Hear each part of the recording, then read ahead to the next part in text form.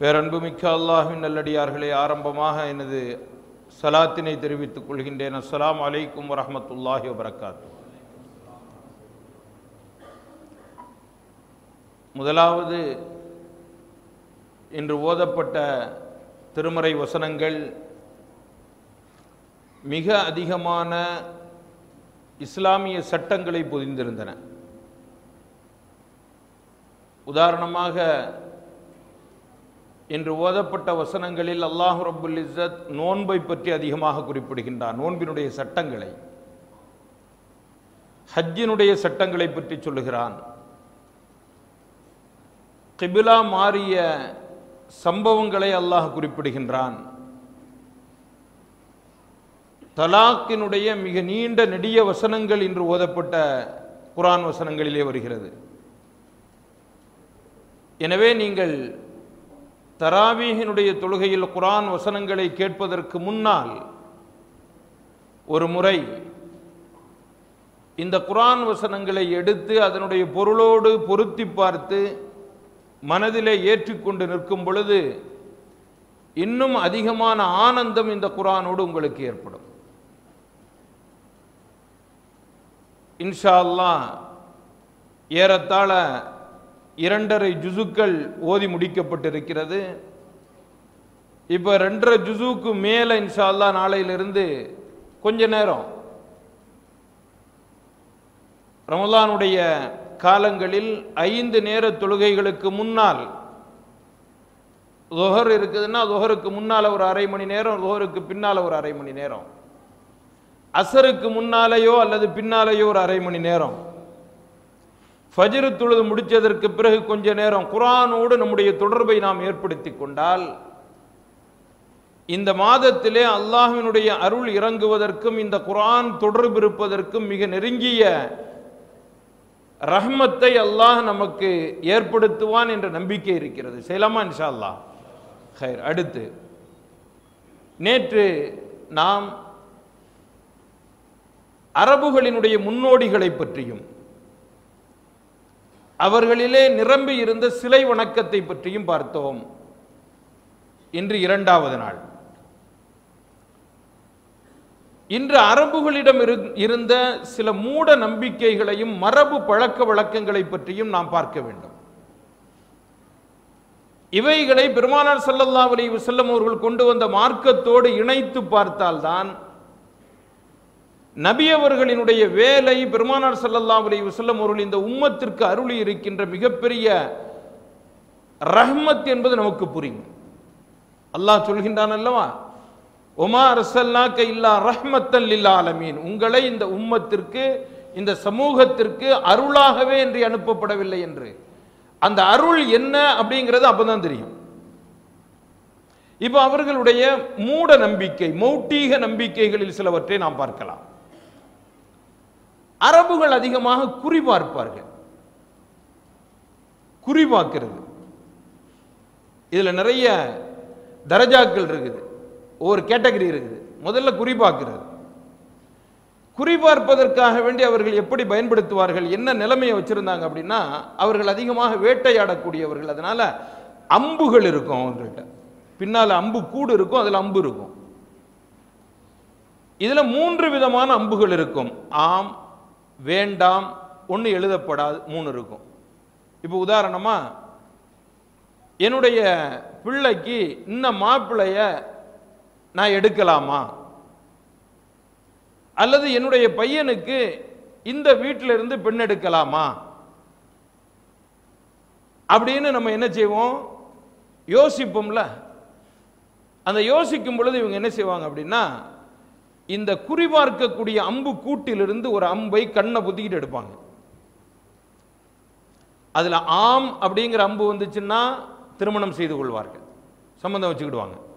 வேண்டாம் அப்படின்னு வந்துச்சுன்னா விட்டுருவாங்க. மூணாவது ஒரு அம்பு இருக்குது. என்னது? எதுவுமே எழுதப்பட்டிருக்காது. அந்த அம்பு வந்தால் திரும்பி உள்ளே வச்சிருவாங்க. திரும்பி இன்னொன்று எடுப்பாங்க. திரும்பவும் அந்த ஒண்ணுமில்லாத அம்பு வந்துச்சுன்னு வைங்க. திரும்பியும் உள்ள வச்சுட்டு திரும்பி ஒன்று எடுப்பாங்க. இப்படி குறிபார்க்கக்கூடிய அம்பு அவர்களிடத்தில் இருந்தது. பயணம் திருமணம் போன்றவைகளிலே இதை பார்ப்பாங்க. இது அப்படி இன்றைய சமூகத்தோடு நீங்கள் ஒப்பிட்டு பாருங்கள். நாம் எத்தனையோ காலங்களுக்கு பிறகு இந்த தௌஹீதை ஏற்றுக்கொண்டிருக்கின்றோம். இந்த மூட நம்பிக்கைகளை உடைத்தெறிவதற்காக வேண்டிதான் இந்த மார்க்கம் வந்திருக்கிறது.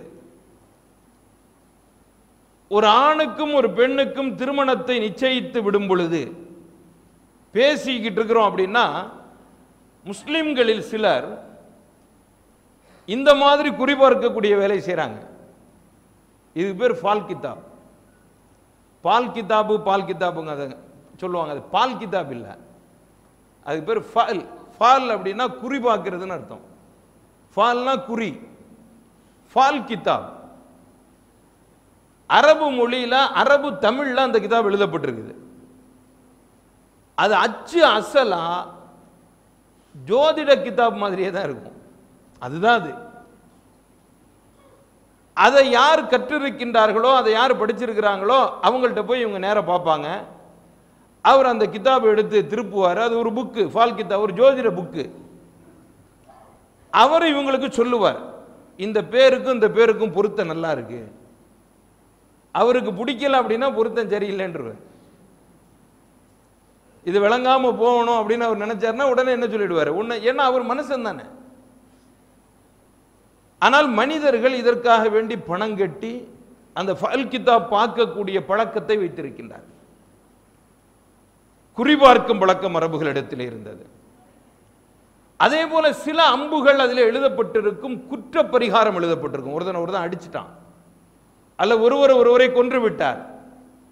அல்ல ஒருவருடைய சொத்தை ஒருவர் அபகரித்து விட்டார். இதுக்கு எல்லாத்துக்கும் சேர்த்து ஒட்டுமொத்தமாக குற்ற பரிகாரங்கள் கொண்ட ஒரு அம்பு கூடு இருந்தது. அதுல இருந்து ஏதாவது ஒரு அம்பு எடுப்பாங்க. அதுல என்ன எழுதப்பட்டிருக்குதோ அந்த பரிகாரத்தை கொடுத்துடணும். உதாரணமா நூறு ஒட்டகைகள் கொடுக்கணும் அப்படின்னா நூறு ஒட்டகை. ஒரு ரெண்டாயிரம் ரூபா கொடுக்கணும்னா ரெண்டாயிரம் ரூபா. இல்லை ஒண்ணுமில்ல இவனை விட்டுரு அப்படின்னு அந்த அம்பு வந்துச்சுன்னா ஒண்ணுமில்ல விட்டுற வேண்டியதுதான். இது இரண்டாவது. மூன்றாவது இவர்களிடத்தில் ஒரு மோசமான பழக்கம் இருந்தது.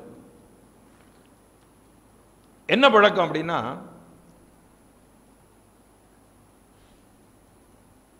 வீதியில் விளையாடி கொண்டிருக்கக்கூடிய அந்த பிள்ளைகளில் நாலு பேர் போனாங்கன்னா இதில் என் பிள்ளையும் இருக்கும் உங்கள் பிள்ளையும் இருக்கும் நம்ம பிள்ளையும் இருக்கும். அப்படின்னா என்ன அர்த்தம்? ஆமாம் அப்பம் பேர் தெரியாத பிள்ளைங்க நிறைய இருக்கும். இவர்களிடத்தில் விபச்சாரம் என்பது ஒரு சாதாரண விஷயம். சாதாரணமாக என்ன விபச்ச இந்த நேரத்தில் இந்த காலத்தில் இந்த மாதிரி செயல்களில் இருந்து தப்பித்துக் கொள்வதற்காக வேண்டி நிறைய பாதுகாப்பு முறைகள் இருக்குது. காண்டம் யூஸ் பண்ணிக்கிடலாம். இல்லைன்னா மாத்திரைகள் கேப்சூல் இருக்குது. இவைகள்லாம் பயன்படுத்தி அதிலிருந்து தப்பித்துக் கொள்ளலாம். இதெல்லாம் எப்படி அது உங்களுக்கு தெரியும்? இதெல்லாம் படிச்சு தெரிஞ்சுக்கிறது தான்.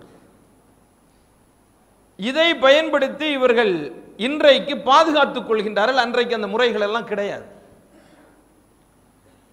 அப்ப இந்த விபச்சாரத்தில் பிறந்த குழந்தைகள் இருக்கும். இப்ப அந்த குழந்தைகள் யாருடையது? அப்படின்னு அங்க பிரச்சனை வரும். இது எப்ப வரும் அப்படின்னா குழந்தைகளாக இருக்கும் பொழுது வராது. சில நேரங்களில் நல்ல வளர்ந்ததற்கு பிறகு அவனுக்கு பருவ வயதை அடைந்து அவன் ஓரளவுக்கு புத்தி அவனுக்கு வந்ததுக்கு பின்னால் அந்த பிரச்சனை வரும். அவன் இப்ப நான் எனக்கு அப்போ யார் அப்படின்னு கேட்பான் எங்க அம்மா தெரியும் எனக்கு அப்ப யார்? நான் உருவாகுவதற்கு காரணம் யார்? ஒரு குறிப்பிட்ட கூட்டம் தான் அந்த கூட்டத்துக்குள்ளால இவ இவர் தான் என்னுடைய அத்தா அப்படின்னு சொல்லி அவனே முடிவு செய்வான். முடிவு செஞ்சோன்னா ஊர் பெரியவங்கள்ட்ட எல்லாம் சொல்லுவான். உடனே இவர்கள் என்ன செய்வாங்க அப்படின்னா நூறு ஒட்டகங்கள் நூறு தீனார் நூறு ஒட்டகம் நூறு தீனார். இவைகளை எடுத்துக்கொண்டு கோயிலுக்கு வருவாங்க. கோயிலுடைய தலைமை பூஜாரி இடத்தில் இதை காணிக்கையாக கொடுப்பார்கள் காணிக்கையாக கொடுப்பார்கள். கொடுத்ததற்கு பின்னால அவர் இதுக்கு என்ன தீர்ப்பு அப்படிங்கிறத சொல்லுவார். அந்த தீர்ப்புக்காக வேண்டி இந்த அம்புகள் தான் இருக்கும். அந்த அம்புல மூணு அம்பு இருக்குது. ஒன்று மின்கும் இரண்டாவது மின் கைரிக்கும் மூன்றாவது முல் சக்கும் மின்கும் அப்படின்னா இவர் உங்களுடையவர். அந்த பையன் உன் பையன் தான் அப்படின்னா அந்த கபீலாவில் உள்ள எல்லோரும் அந்த குடும்பத்தில் உள்ள எல்லோரும் தங்களுடைய பிள்ளையாக அவர்களை ஏற்றுக்கொள்வார்கள். அந்த அம்பு வந்துச்சுன்னா அது அவங்களுக்கு பிறந்திருந்தாலும் சரி பிறக்க கட்டியும் சரி. மின் கைரிக்கும் இது வேறு குடும்பத்தில் உள்ளவர்கள் அப்படின்னா வேறு ஏதாவது ஒரு குடும்பத்தில் அதை சேர்த்து விடுவார்கள். முல்சகுன் அப்படிங்கிற மூணாவது அம்பு வந்துச்சுன்னா இவருக்கு வம்ச பரம்பரையே கிடையாது அப்பம் பேரே கிடையாது. நடுத்தருவில் நிற்க வேண்டியதான் இவருக்கு யாருமே கிடையாது. அன்னக்காவடி. ஹராமில் ஹராத்துல பிறந்த பிள்ளைன்னு மொத்தமா விட்டுருவாங்க. இது இவர்களிடத்திலே இருந்தது. அதே போல சூதாடக்கூடிய பழக்கம் இருந்தது. சூதாடக்கூடிய பழக்கம். ஒரு ஒட்ட ஒரு கடனை வாங்கி ஒரு ஒட்டகத்தை வாங்குவாங்க. அந்த ஒட்டகத்தை எட்டு பங்கா இருபத்தெட்டு பங்காகவோ அல்லது பத்து பங்காகவோ பிரிப்பார்கள். இது நல்ல சூதாட்டம் பா- கவனிங்க. ஒரு ஒட்டகத்தை கடனுக்கு வாங்கி அந்த ஒட்டகத்தை அறுத்து அதை இருபத்தெட்டு பங்கு பத்து பங்கா பிரிச்சிருவாங்க. ஒன்று இருபத்தெட்டு பங்கா பிரிப்பாங்க அல்லது பத்து பங்கா பிரிப்பாங்க. ஒவ்வொரு பங்கும் யாருடையது அப்படிங்கிறதுக்கு சீட்டு குலுக்கி போடுவாங்க. அந்த சீட்டில் வரும். ராபிஹ் அப்படின்னு ஒன்று வரும். இல்லைன்னா குஃபுல் இந்த ரெண்டு சீட் இருக்கும். ஒன்று வெற்றி பெற்றவன் இன்னொன்று தோல்வி அடைந்தவன். ஒருவருடைய பேரை சொல்லி இவருக்காக வேண்டி இப்போ இந்த சீட்டு எடுக்கப்படுது. அந்த பேரை சொல்லி எடுக்கும் பொழுது ராபி அப்படின்னு வந்துச்சு அப்படின்னா இவர் காசு கொடுக்காமல் ஒட்டகத்தினுடைய கரையில் இருபத்தெட்டு பங்குல ஒரு பங்கு இவர் எடுத்துக்கலாம். ஒரு ஒட்டகத்தை அறுத்தால் ஆயிரம் பேர் சாப்பிடலாம். ஒரு ஒட்டகத்தை அறுத்தா எத்தனை பேர் சாப்பிடலாம்? ஆயிரம் பேர் சாப்பிடலாம். அப்போ இருபத்தெட்டு பங்குங்கிறது எத்தனை நாளைக்கு சாப்பிடலாம்? எவ்வளவு பேர் சாப்பிடலாம்? இவர் இதுக்கு காசுலாம் கொடுக்க வேண்டியதில்லை. ஒருத்தருடைய பேரை சொல்லி அதுல குஃபுலுங்கிறது சேர்ந்து வந்துருச்சுன்னு வைங்க.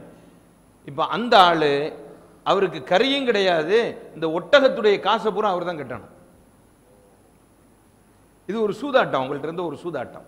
இதுவும் அந்த மக்களிடத்தில் இருந்தது. இதை தவிர கஹானத் ஜோதிடம் பார்க்கக்கூடிய வளமை அவர்களிடத்தில் இருந்தது.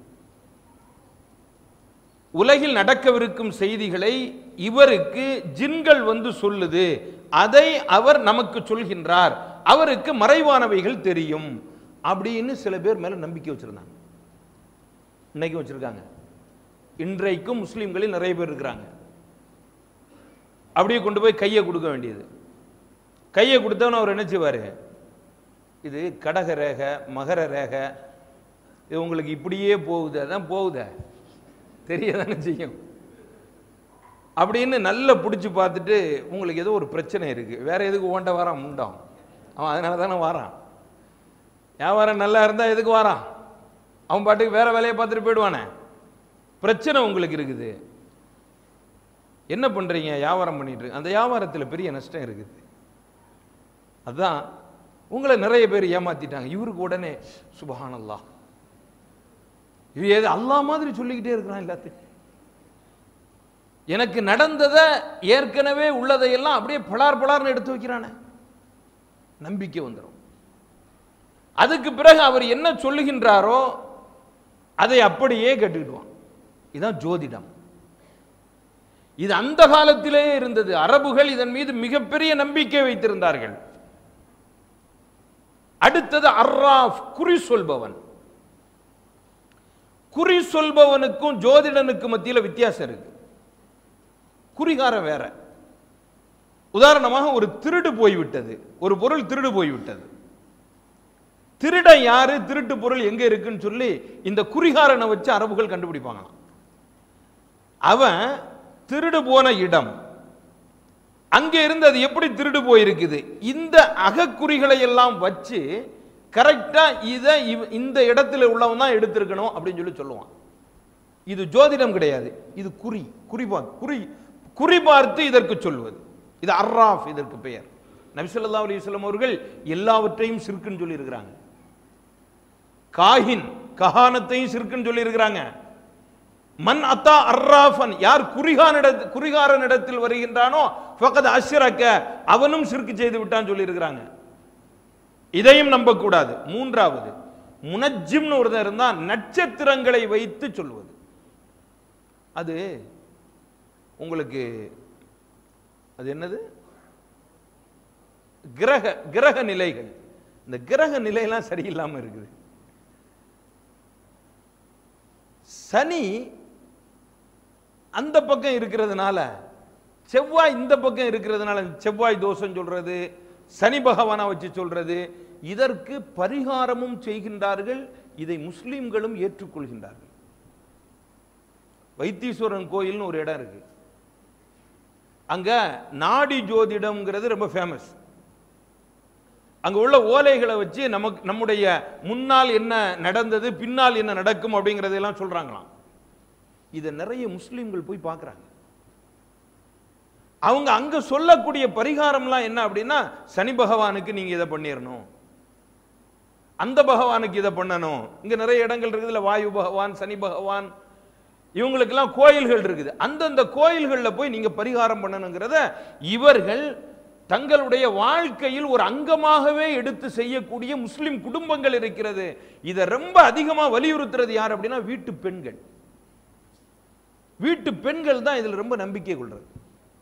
இன்னும் இருக்கிறது. நாம நாம வந்து சிட்டியில இருந்துகிட்டு இருக்கோம் அதனால நம்ம நமக்கு அவ்வளவு தூரத்துக்கு தெரியல. சிட்டிலே இருக்கிறாங்க. ஆனால் மிக அதிகமாக கிராமப்புறங்களிலே இதன் மீது மிகுந்த நம்பிக்கை கொண்டவர்கள் இருக்கின்றார்கள். இதுவெல்லாம் வரலாற்றினுடைய ஏடுகளிலே ரொம்ப காலத்திற்கு முன்னால மௌட்டீக காலம் என்று அறியப்பட்ட காலத்தில் சொல்லப்பட்ட இந்த பழக்க வழக்கங்களை இன்னும் கை கொண்டிருப்பது ரொம்ப அபாயமான ஒன்று. நபி சல்லா அலி வஸ்லம் அவர்கள் சொல்வார்கள் ஃபகானு யகூலூன முத்திர்னா பினௌ இக்கதா வகதா இன்ன நட்சத்திரம் இந்த இடத்தில் வந்ததால் மழை பொழிகின்றது என்று யார் சொல்லுகின்றானோ அவன் சிற்கு வைத்து விட்டான். அப்படி சொல்லக்கூடாது. அல்லாஹினுடைய அருளால் மழை பொழிந்தது. ஏன்னா அந்த வானிலை செய்திகள் சொல்லு சொல்லக்கூடியவர் அவர் எப்படிதான் சொல்லுவாரு? இன்று காலை மதியம் எப்போதாவது கனமழையோ லேசான மழையோ தூறலுடன் கூடிய மழையோ பெய்வதற்கு வாய்ப்புகள் இருக்கின்றது. பெய்யாமலும் இருக்கலாம். இதுக்கு என்னத்துக்கு சொல்லணும் நீ? எல்லாமே இப்படி இருக்கும் இப்படி இருக்கலாம் இருக்கலாம இருக்கலாம் இருந்தாலும் இருக்கலாம். எல்லாத்தையும் சேர்த்து குழம்பிடுவான் ஏதாவது ஒரு நேரத்தில் இவர்கள் சொல்வது சரியாக இருக்கலாம். இது ஒரு அனுமானத்தின் பேரில் அவர்களுக்கு கிடைக்கக்கூடிய ஒரு செய்தியின் பேரில் அவர்கள் சொல்வது. இப்ப இருக்கிறது இன்னும் அட்வான்ஸா போச்சு. அதனால கால சூழலையும் மேலே இருக்கக்கூடிய வானிலைகளையும் வைத்து ஓரளவிற்கு கணித்து சொல்லக்கூடிய வழக்கம் இருக்கின்றது. இது நட்சத்திர நிலைகளை வைத்தோ அப்படி இப்படியோ கிடையாது. இவன் சொல்லாம இருந்தா கூட திடீர்னு மழை பொத்துக்கிட்டு ஊத்துது சொன்னால் பெய்ய மாட்டேங்குது. சொல்லாமல் இருந்தால் ஊத்துது. ஒரே ஒரு ஆளுக்கு தான் சந்தோஷம் இதில் ஸ்கூல் பசங்களுக்கு. அவனுங்களுக்கு மட்டும்தான் சந்தோஷம். ஆள் டிவியில் வந்துட்டாருன்னு அப்பா. முந்தால ஒருத்தர் இருந்தார் ரமணன்னு.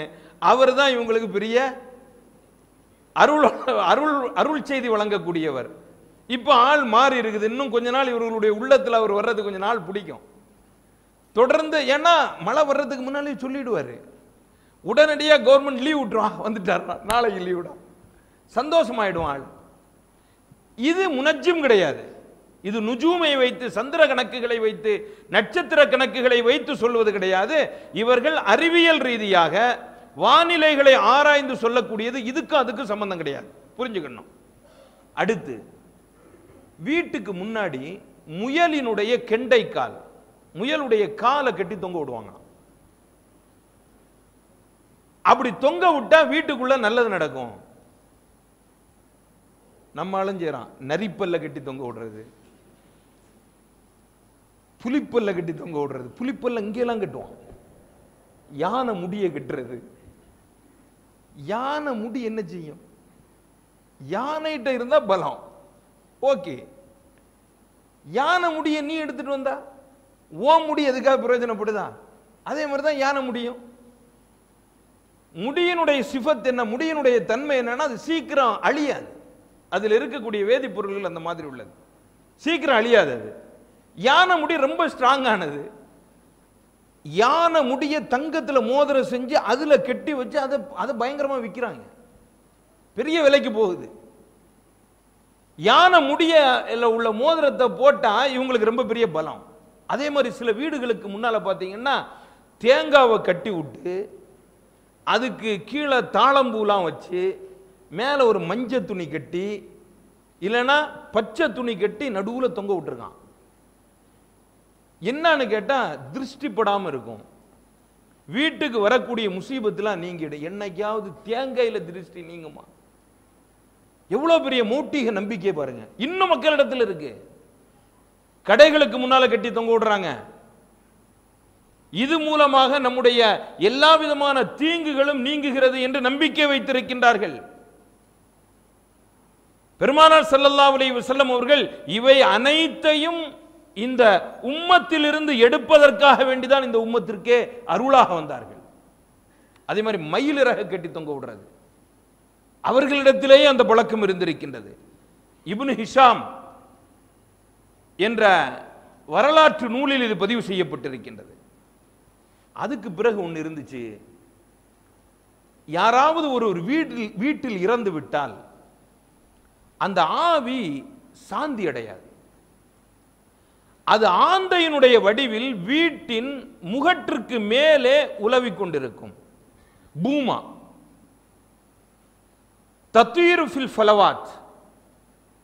அது வீட்டினுடைய முகட்டின் மேலே உலவிக் கொண்டிருக்கும் அது சொல்லுமா இஸ்கூனி இஸ்கூனி எனக்கு தாகம் எடுக்குது தண்ணி குடு தண்ணி குடு. இது எதுக்கு தெரியுமா? யாராவது ஒருவர் தற்கொலை செய்து கொண்டாலோ யாரையாவது ஒருவர் கொலை செய்து விட்டாலோ அல்லது வேறு ஒருவரின் காரணமாக ஒருவர் இறந்து விட்டாலோ இந்த மாதிரி ஒரு நம்பிக்கையை வைத்து இவர் கொல்லப்படுவதற்கோ அல்லது இறவ இறப்பதற்கோ யார் காரணமாக இருந்தாரோ அவரை நீ கொல்லாத வரைக்கும் அவர் ஆத்மா சாந்தி அடையாது அப்படின்னா என்ன அர்த்தம்? சீக்கிரமா அவனை போட்டு தள்ளு. இது ஒரு நம்பிக்கை இருந்துச்சு. அதனால ஆந்த வந்துருச்சு அப்படின்னா எவனோ ஒருத்தன் சாவ போறான்னு அர்த்தம். இப்பவும் இருக்குது. இந்த காலத்திலே அந்த மாதிரி நம்பிக்கைகள் இருக்குது. காக்கா வந்தா என்னது? காக்கா கரைஞ்சா? ஆமா விருந்தாளிங்க வருவாங்க. அதுக்கு நிறைய அறிவியல் காரணம்லாம் வேற இப்ப சொல்ல ஆரம்பிச்சிட்டாங்க. அது ஏதாவது நீ ரொட்டியை வச்சோம்னாலோ அரிசியை வச்சா அது பாட்டுக்கு தின்னுக்கிட்டு காக்கான்னு எல்லாரையும் காகம் கூடி தின்னக்கூடிய பழக்கம். அதனாலே காக்கான்னு எல்லாரையும் கூப்பிட்டு அது எல்லாத்தையும் சேர்ந்து திங்கும். காக்கா கரைஞ்சதுன்னா விருந்து விருந்தாளியே வரமாட்டேங்கிறான் இப்போ. விருந்தாளியை வரவேற்கக்கூடிய தன்மைகள் எல்லாம் நம்மை விட்டு போய் எவ்வளவோ நாளாகி போச்சு. ஹைர். அடுத்து இவ்வளவெல்லாம் இருந்தாலும் ஹஜ்ஜு உம்ரா அப்படின்னு வந்துருச்சுன்னா இவங்கள மாதிரி தங்கமான ஆட்கள் யாரும் கிடையாது. அவர்களை வரவேற்பது அவர்களுக்கு உபசரிப்பது அவங்களுக்கு எல்லாம் செய்து கொடுக்கிறது அந்த காலத்திலேயே குறைசிகளிடத்திலே ரொம்ப பெரிய அற்புதமான ஒரு சிஃபத் ஒரு தன்மையாக இருந்தது. எந்த அளவுக்குன்னா ஹஜ்ஜுக்கோ உம்ராவுக்கோ ஒருத்தவங்க வராங்கன்னா அவர்களுக்கு ஃபுல்லா சாப்பாடு அது குறைசிகளுடைய செலவு. இன்னைக்கும் அரபுகள் அப்படி இருக்கிறாங்க. சில இடங்கள்ல அரபுகள் ஹாஜிகளுக்கு கொடுக்கக்கூடிய விருந்துபசாரத்தை நீங்கள் எடுத்து பார்த்தால் கொஞ்ச நேரம் நின்று கவனிச்சீங்கன்னா திகைச்சிடுவீங்க அரபுகளுக்கும் அந்த உணவுக்கும் சம்பந்தமே இருக்காது. இந்தியாவிலிருந்து போகக்கூடிய ஹாஜிகளுக்கு சுபுகு தொழுத உடனேயே பெரும்பெரும் அண்டா நானூறு லிட்டர் ஐநூறு லிட்டர் அண்டாவில் கொண்டு வந்து டீ கொடுத்துக்கிட்டு இருப்பான். கிளாஸு இவ்வளோ பெரிய மேரி பிஸ்கட் இந்தியா மேரி பிஸ்கட்டை கொண்டு வந்து கொடுத்துட்டு இருப்பாங்க. எவ்வளவு பேர் எத்தனை ஆயிரம் ஹாஜிகள் வருகின்றார்களோ அத்தனை ஆயிரம் பேரும் அதில் குடிக்கலாம். அவங்களுக்கு மதியான சாப்பாடு என்ன இந்தியாவில் சாப்பாடு கிடைக்குதோ அந்த சாப்பாடை கொடுப்பாங்க. அதுக்கும் அரபுகளுக்கு சம்மந்தம் கிடையாது. அவங்க அந்த சாப்பாடை சாப்பிடவே மாட்டாங்க. ஆனால் ஹாஜிகளுக்கு அதை கொடுக்க வேண்டும் என்று அவர்கள் மனதார இந்த இந்த வி- விருந்து உபசரிப்பை செய்கின்றார்கள். அன்றிலிருந்தே தொடர்ந்து வரக்கூடியது. இது ஒண்ணு. நம்பர் ரெண்டு என்னன்னா ட்ரெஸ்ஸும் அவங்க தான் வாங்கி கொடுப்பாங்க. மக்காவுக்குள்ள நுழைஞ்சிட்டாங்கன்னா இவங்க ட்ரெஸ் எல்லாம் கழட்டி போட்டுறணும். யாரு? வரக்கூடிய ஹாஜிகளோ அல்லது உம்ராவிற்கு வரக்கூடியவர்களோ ட்ரெஸ் எல்லாம் கழட்டிடணும் குறைஷிகள் கொடுக்கக்கூடிய ட்ரெஸ்ஸை தான் கொடு போட்டுக்கிடணும். குறைஷிகளினுடைய ஆண்கள் ஆண்களுக்கு ட்ரெஸ் கொடுப்பாங்க. குறைஷியில் இருக்கக்கூடிய பெண்கள் பெண்களுக்கு ட்ரெஸ் கொடுப்பாங்க. இப்போ இந்த ட்ரெஸ் கொடுக்கும் பொழுது ட்ரெஸ்ஸை கொடுக்குறாங்கல்ல? ட்ரெஸ் இல்லை. அப்படின்னா ட்ரெஸ்ஸு போடாமே தவாஃப் செய்வாங்க. ட்ரெஸ்ஸே போட மாட்டாங்க. ஆண்களுக்கு இல்லைன்னா ஆண்கள் போட மாட்டாங்க பெண்களுக்கு இல்லைன்னா பெண்கள் போட மாட்டாங்க. அப்படி தவாப் செய்யும் பொழுது இவர்கள் ஒரு பாட்டு படிப்பார்களாம். அல்யோம எபுது பாலுஹு அவ் குல்லுஹு ஒமா பதா மின்ஹு ஃபலா ஒஹில்லுஹு இன்றைக்கு கொஞ்சமோ நிறையவோ வெளியே தெரியுது தெரியக்கூடிய உறுப்புகளை யாரும் பார்க்காதீர்கள். அது ஹலால் இல்லை. எவன் பார்க்காம இருப்பான்? இன்றைக்கு ஓதப்பட்ட வசனத்தில் அது பற்றி ஆயத்து இறங்கியது. லைசல் பிர்ர அப்படின்னு ஒரு ஆயத்து வருது. நீங்கள் ஆடையின்றி தவாப் செய்வது நன்மை என்று நினைத்துக் கொண்டிருக்கின்றீர்கள் இதை செய்யாதீர்கள். இதிலிருந்து தவிர்ந்து கொள்ளுங்கள். ஆடையோடு நீங்கள் தவாப் செய்யுங்கள் என்று அல்லாஹ் ரபுல் இசத் இந்த மூட வழ- வழக்கத்தையும் துடைத்தெறிந்தான். அதுல தான் ஆயத்து இறங்குச்சு யா பனி ஆதம ஹுது ஜீனத்தக்கும் இந்த குல்லி மஸ்ஜிதின்.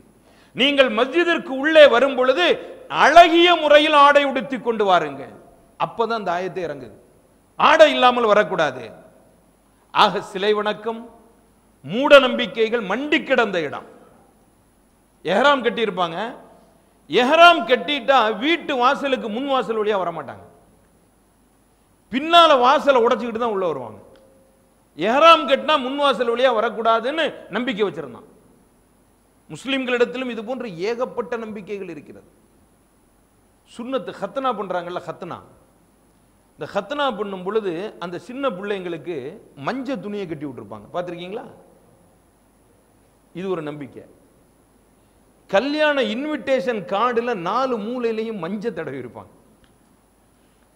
மஞ்ச தடவி தான் அந்த கார்டை கொண்டு கொடுப்பாங்க.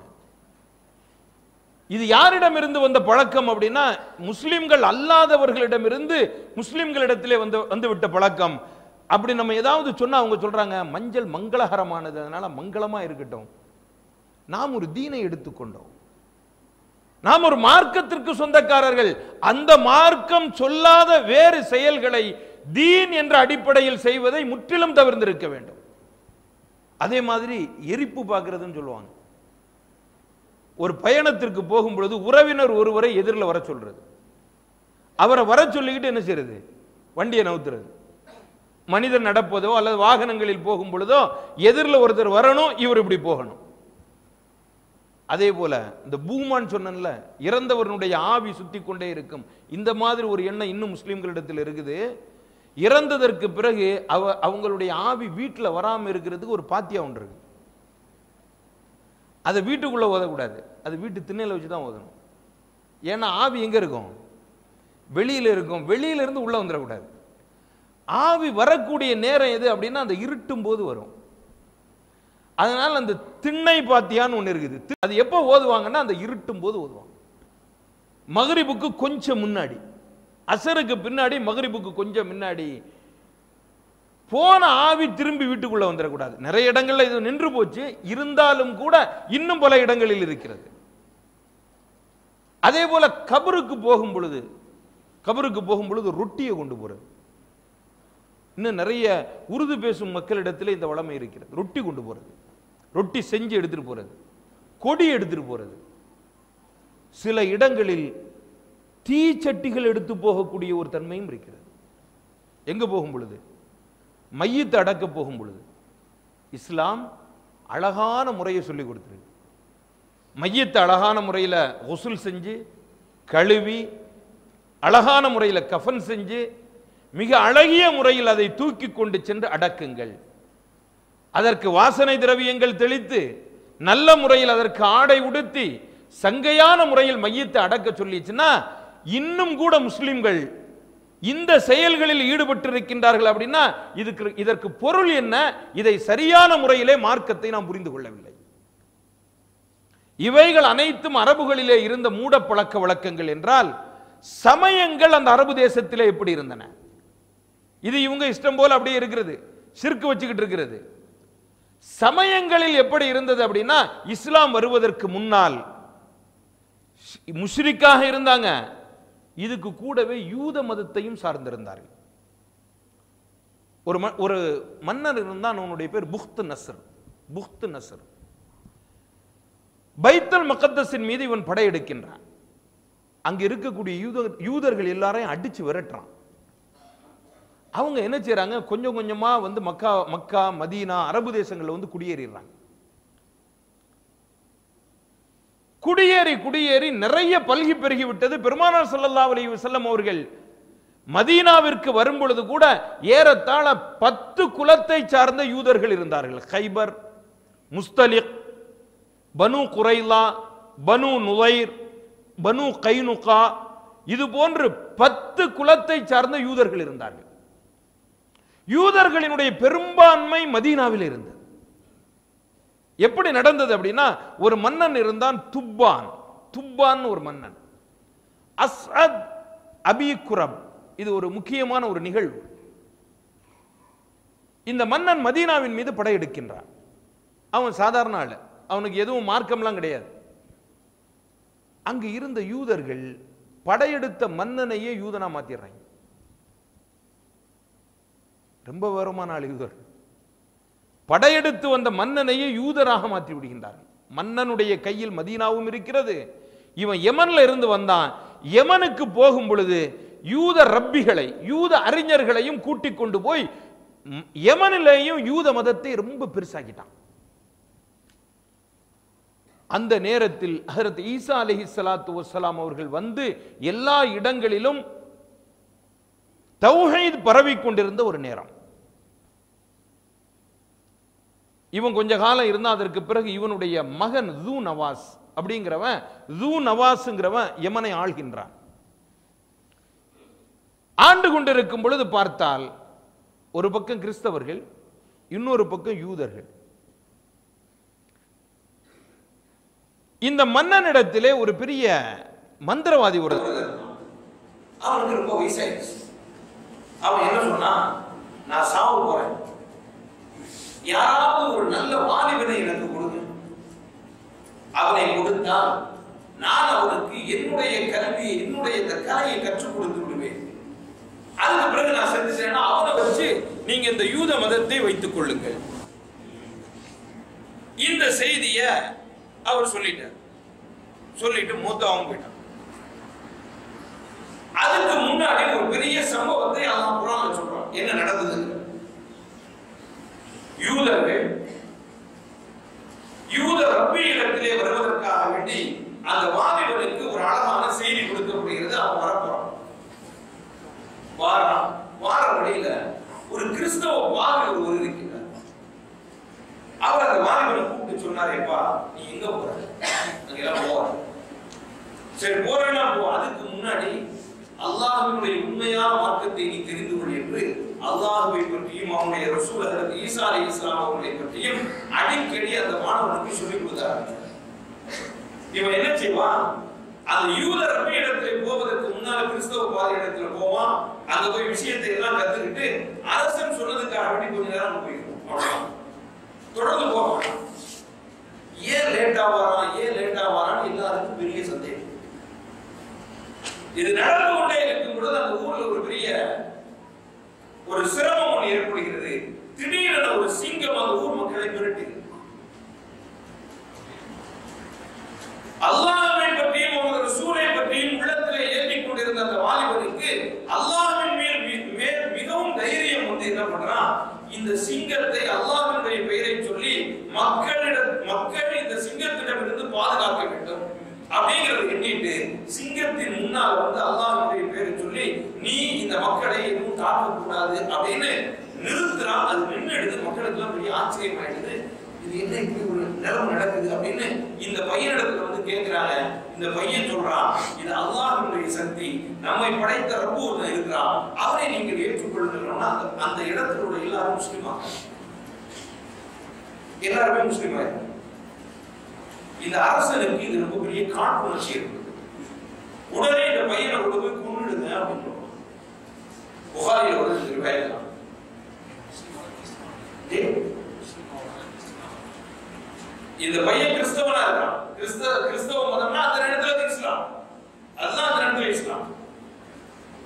இந்த பையனை பொண்ணுன்னு சொல்லும் பொழுது போய் கொண்டு போய் கடலை கொண்டு போய் போடுறாங்க. நான் சுருக்கமா சொல்றேன். கடலை கொண்டு போய் போடுறாங்க திருப்பி வந்துடும்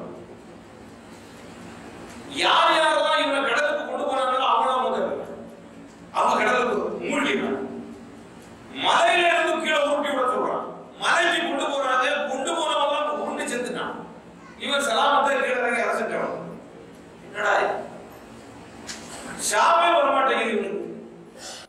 அப்ப அவன் சொல்றான் நான் ஏற்றுக்கொண்டிருக்கின்ற அல்லாஹுவின் மீது சத்தியமாக அல்லாஹுவினுடைய பெயரை சொன்னால் மட்டும்தான் என்னை நீங்கள் கொல்ல முடியும். இல்லைன்னா கொல்ல முடியாது.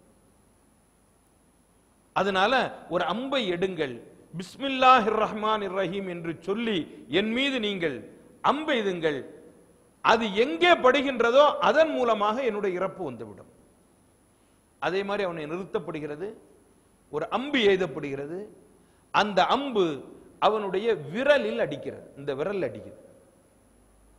அந்த விரல் துண்டாகுது அதில் அம்பு குத்தி அதிலிருந்து ரத்தம் வருது அதில் வந்த ரத்தத்தின் மூலமாகவே அவனுடைய அந்த பையனுடைய இறப்பு ஏற்பட்டது இன்னால் இல்லாஹ் இன்னாலே ராஜு ஆனால் சுற்றி இதை பார்த்து கொண்டிருந்தார்கள் அல்லவா மக்கள். மொத்தம் நாற்பதனாயிரம் பேர் இதை சுற்றி பார்த்துக்கிட்டு இருக்கிறாங்க.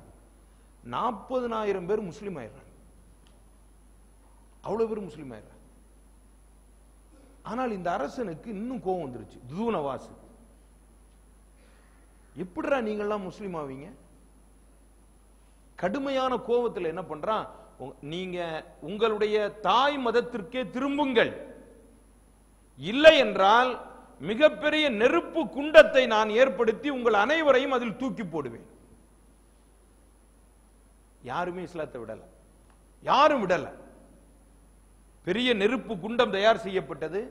அல்லாஹ் குரான்ல சொல்றான் ஒஸ்ஸமா இதாத்தில் புரூஜ் ஒல் யோமில் மௌஊத் ஒஷாஹிதிம் வ மஷ்ஹூத் குத்திலா சுஹாபுல் உஹ்தூத். நெருப்பு குண்டத்தை சுற்றி உட்கார வைக்கப்பட்டவர்கள் கொல்லப்பட்டார்கள். அவர்கள் இஸ்லாத்தை ஏற்றுக்கொண்ட ஒரே காரணத்தினால்.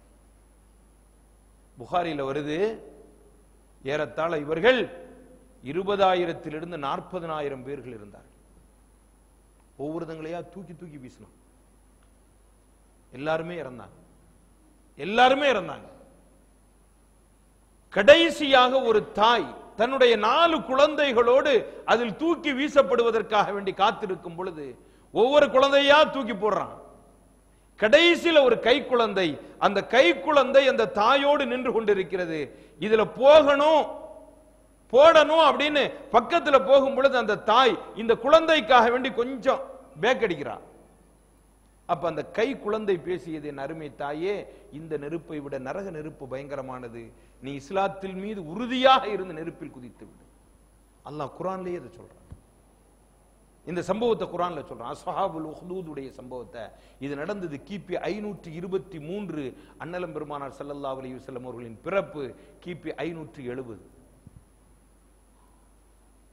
ரெண்டுக்கு மத்தியில கொஞ்ச நாள் தான் இடைவெளி.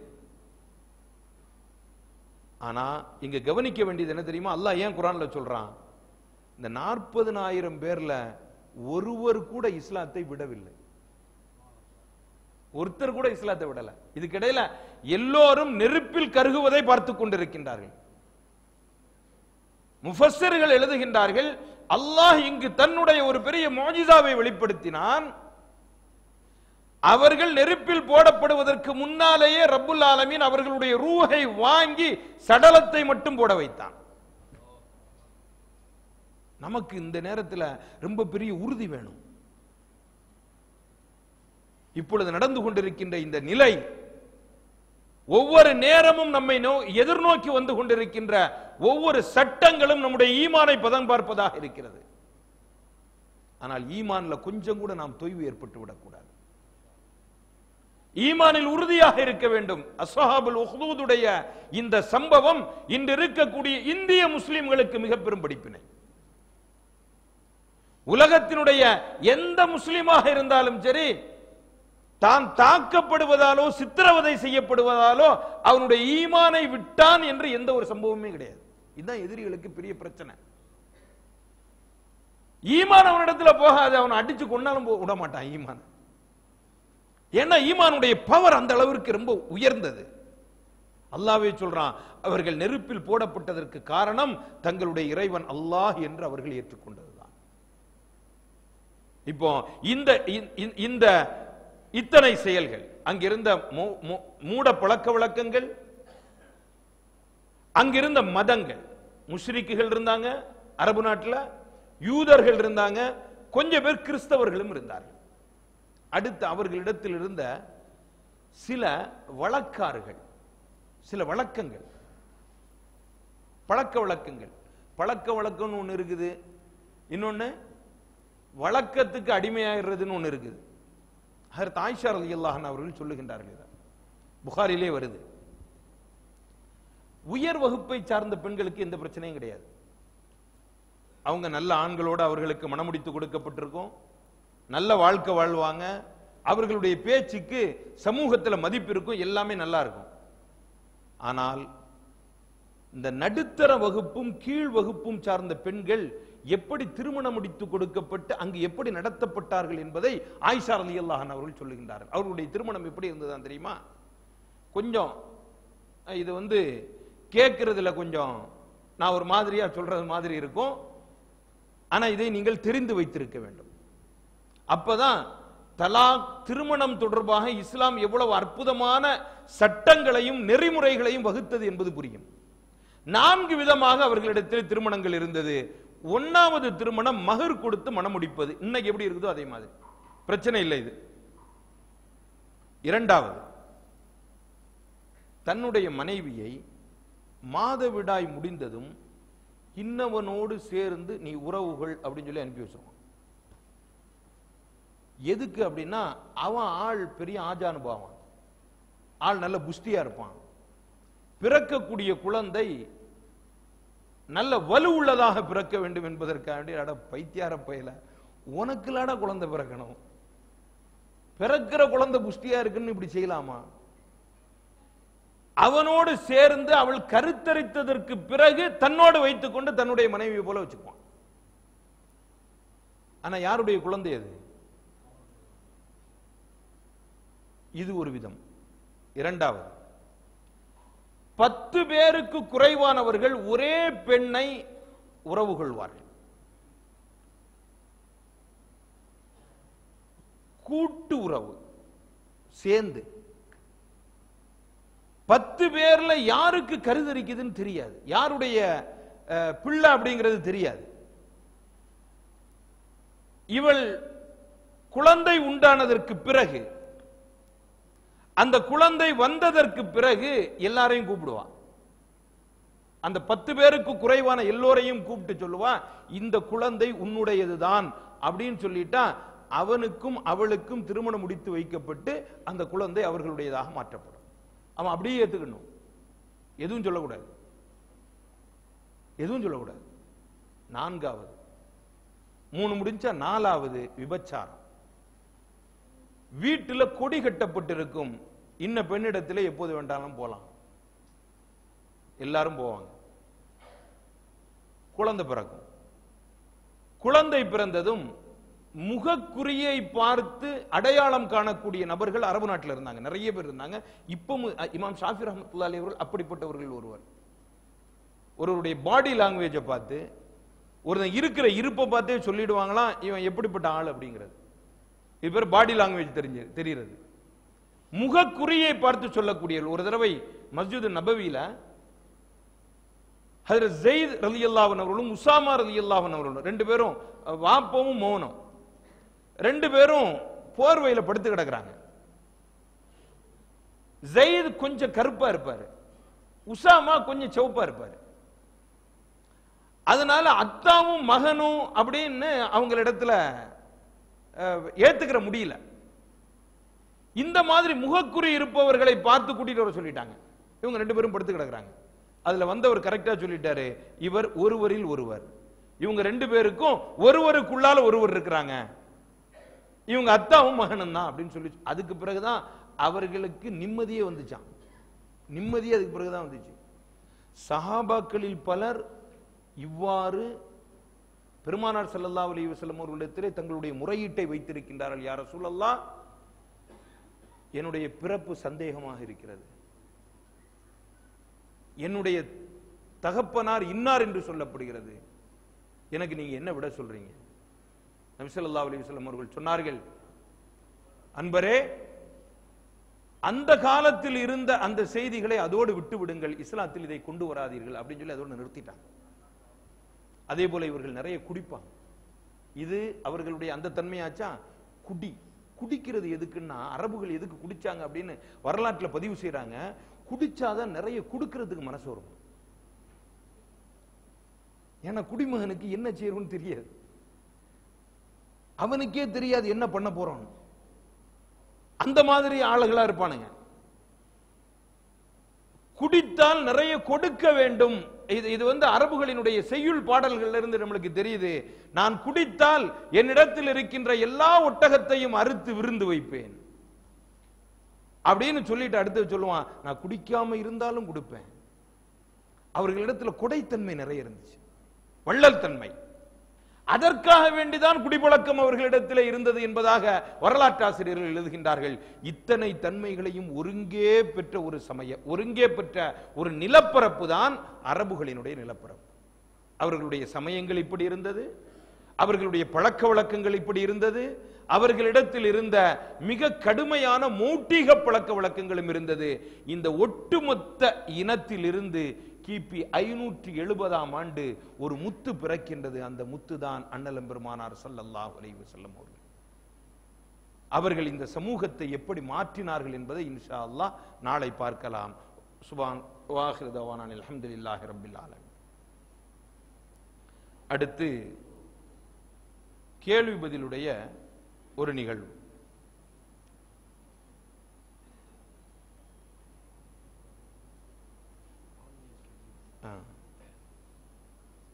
இது என்ன? ம். கோயம்புத்தூர்ல இருந்து கேட்டிருக்கிறாங்க.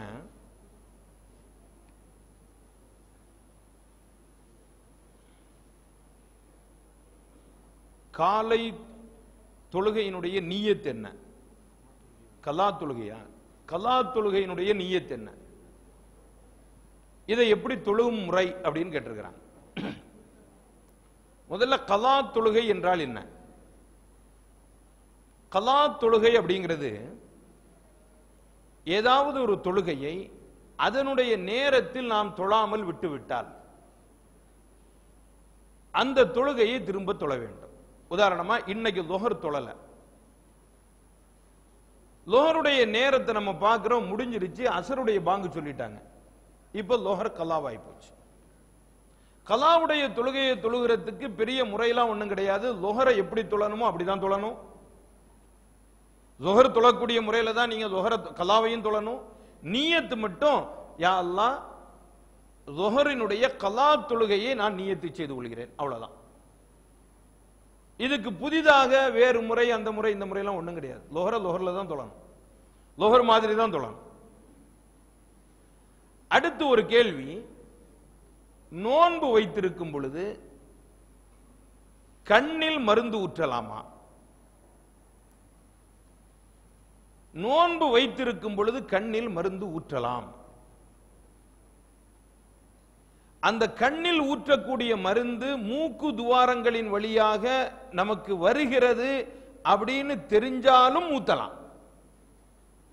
என்ன இதுல வந்து சந்தேகம் இப்படிதான் வரும். கண்ணில் மருந்து ஊத்தும் பொழுது மூக்கில் அதனுடைய இது படுது எனக்கு. அந்த வாடை வருது. மூக்கில் வந்தாலும் கண்ணில் மருந்து ஊற்றலாம். கண்ணில் மட்டும்தான் மருந்து ஊற்றலாம். மூக்குக்குள்ளால மருந்து ஊற்றக்கூடாது காதுக்குள்ளால மருந்து ஊற்றக்கூடாது இது செய்யக்கூடாது. அடுத்து ஒருத்தர் கீழே கேட்டிருந்தாரு. நோன்பு வைத்திருக்கும் பொழுது இன்ஹேலர் யூஸ் பண்ணலாமா? அந்த இஸ்னோஃபிலியா ஆ இஸ்னோஃபிலியா வரும் பொழுது இழுப்பு வரும் பொழுது இன்ஹேலர் யூஸ் பண்ணலாமா? அறவே யூஸ் பண்ணக்கூடாது. சரி அப்படி வந்துருச்சுன்னா என்ன பண்றது? அப்படி வந்துருச்சுன்னா என்ன பண்றது? அப்படி வந்துவிட்டால் இன்ஜெக்ஷன் போட்டுக்கலாம். அஸ்தாலின் இன்ஹேலருக்கு பதிலாக அஸ்தாலின் இன்ஜெக்ஷன் போட்டுக்கிடுங்க. இன்ஜெக்ஷன் uh, போட்டுக்கலாமே தவிர வாயின் வழியாக நேரடியாக இதை உள்ளே செல்வது கூடாது. அடுத்து நோன்பு வைத்திருக்கும் பொழுது பல் துலக்கலாமா அப்படின்னு கேட்டிருக்கிறாங்க. பல் துலக்கலாம் பல் தேய்க்கலாம் தப்பில்லை. ஆனால் கவனமா இருக்கணும்.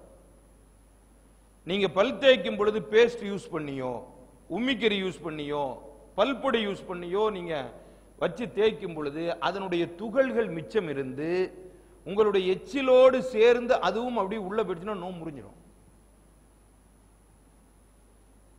அதுல கவனமா இருக்கணும். மிஸ்வாக் யூஸ் பண்ணலாம் மிஸ்வாக் பிரச்சனையே இல்லை. நல்ல மிஸ்வாக் தேய்ச்சிட்டு நல்ல கொப்பளிச்சு வெளியாக்கிட்டோம்னா எல்லாமே முடிஞ்சு போயிடும். மீதி உள்ள பொருட்களை வைத்து நீங்கள் பல் தேய்ச்சிங்க அப்படின்னா அதில் உள்ள கொஞ்சம் நெஞ்சம் மிச்சம் இருக்கிறது உள்ள போயிட்டுது. அதனால் நமக்கு என்ன ஆயிடும்? பிரச்சனை வந்துடும் அடுத்து ஒரு கேள்வி. மாதவிடாயின் பொழுது சூறாக்கள் மரணம் செய்யலாமா? அரபியில. சூறாக்கள் அரபியில தானே மரணம் செய்ய முடியும்.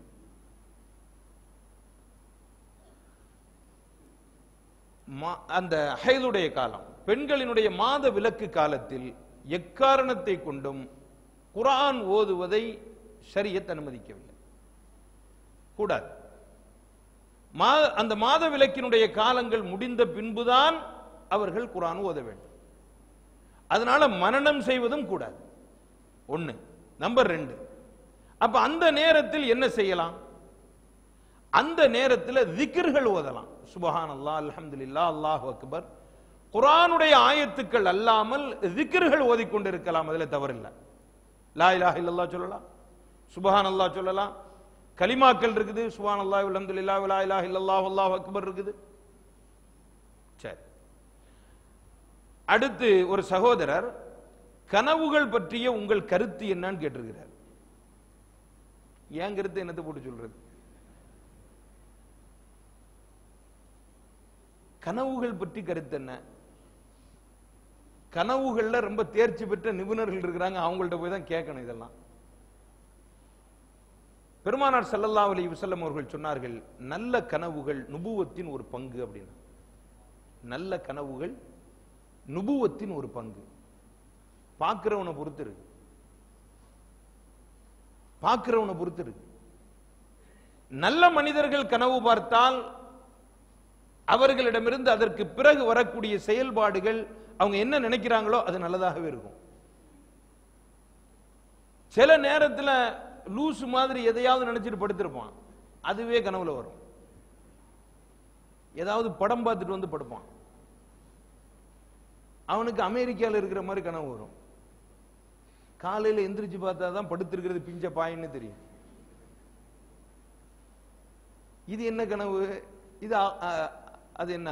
அல்காஃபு அஹ்லாமி. இது சும்மா வீண் கனவு.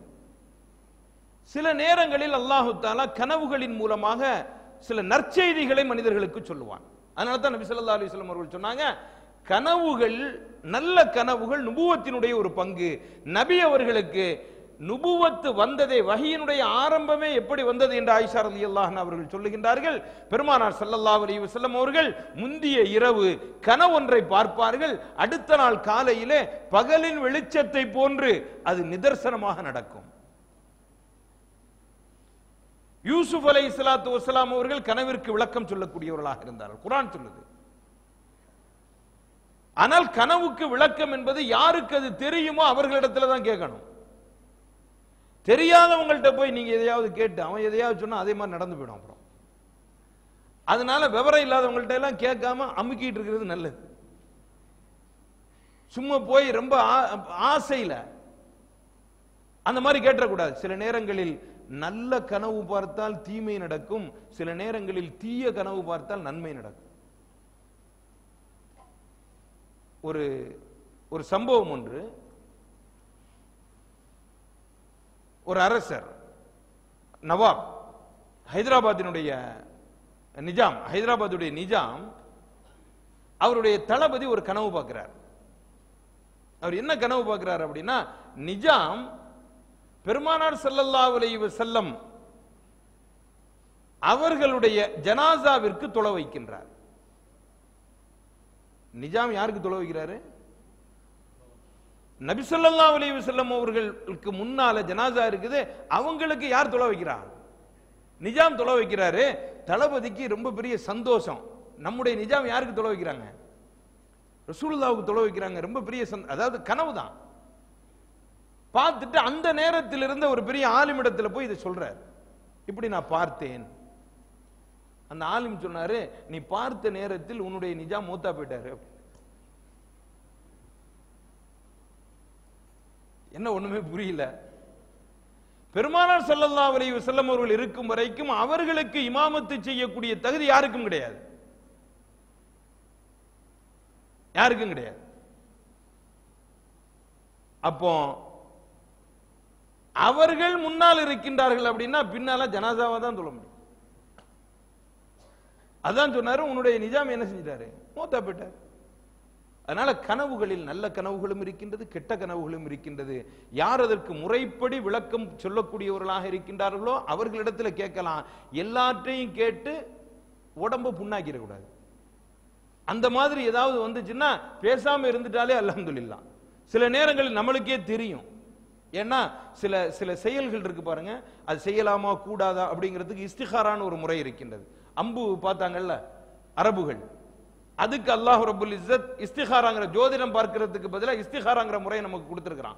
இஸ்திகாரா செய்யும் பொழுது சில நேரங்களில் கனவின் மூலமாக அதற்கு பலன் தெரியும். அடுத்து இன்றைய காலத்தில் பெண்கள் வேலைக்கு போவதை அனுமதிக்கலாமா? என்ன படிக்கலாம்? எந்த மாதிரி வேலைக்கு செல்லலாம்? இப்போ கேரியர் கைடன்ஸ்லாம் நடத்த முடியாது. பெண்கள் வேலைக்கு போகுவது எந்த விதமான பிரச்சனையும் இல்லை. போகலாம். ஆனால் அவர்கள் சரியத்தின்படி சரியத்தினுடைய முறையை பேணி வேலைக்கு போகணும். அவங்க படிக்கிறதுக்கு ரொம்ப நல்ல படிப்பு என்ன அப்படின்னா சைக்காலஜி படிக்கலாம் நியூட்ரிஷன் படிக்கலாம். நல்ல அறிவு இருந்தால் டாக்டர் படிக்கலாம் மெடிக்கல் படிக்கலாம் நர்சிங் படிக்கலாம். பெண்களுக்கு எது தேவையானதோ இது மாதிரியான படிப்புகள் வீட்டில் உட்கார்ந்துட்டு ஒரு ஆஃபீஸில் உட்கார்ந்துட்டு செய்யக்கூடியவைகளை ஆர்கிடெக்ட் படிக்கலாம். இது அல்லாம இன்ஜினியரிங் படிக்கிறது மெக்கானிசம் படிக்கிறதெல்லாம் இவங்க எங்க போய் செய்ய போகிறதும் இல்ல. வந்து வரக்கூடிய புருஷன் அதுக்கு விட போறதும் இல்ல. இவைகளை எல்லாம் படிக்காம பெண்களுக்கு எது உகந்ததோ இந்த படிப்புகளை படிக்கலாம். அடுத்தது நேற்றுள்ள பயானில் ஒருவர் ஜின் வந்து சிலைகளை எல்லாம் காட்டி கொடுத்தது அப்படின்னு சொன்னீங்க. இந்த மாதிரி இப்போ இருக்கிறாங்களா? அந்த ஜின்கள் என்ற பெயரில் எல்லோரையும் ஏமாற்றுகிறார்களே. அப்படின்னு கேட்டிருக்காங்க. உண்மைதான். இப்போ அந்த மாதிரிலாம் யாரும் உறுதியாக இல்லை. எல்லாமே போலிகள். ஜின்னு என்கிட்ட வந்து சொல்லுது நான் உங்களுக்கு எல்லாத்தையும் சொல்றேன்னு சொல்லி சொல்றாங்க இவர்கள் எல்லாம் பணம் பிடுங்கி பிசாசுகள். ஒன்னா நம்பர் அயோக்கியர்கள். ரொம்ப ரொம்ப அரிது அந்த மாதிரி உள்ள சிலர். அந்த மாதிரி இப்பொழுது சமீபத்தில் காண கிடைப்பது யாருமே இல்லைன்னு தோணுது. அந்த நேரத்தில் அது ஜின் வந்து சொன்னதுன்னு நான் சொன்னது வந்து ஷைத்தான். ஷைத்தானியத்தான ஜின். ஷைத்தான் வந்து சொல்லக்கூடிய நிறைய மந்திரவாதிகள் இருக்கின்றார்கள். அவங்க பூரா யாருக்கு கட்டுப்பட்டவங்க? ஷைத்தானுக்கு கட்டுப்பட்டவர்கள்.